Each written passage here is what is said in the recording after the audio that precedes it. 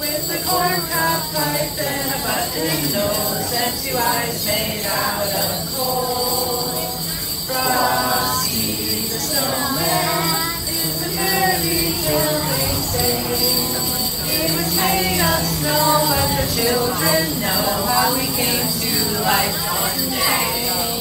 There must have been some magic in that old silk hat they found. Placed on his head, he began to dance around. Oh, Frosty the snowman was alive as he could be. And the children say he could laugh and play just the same as you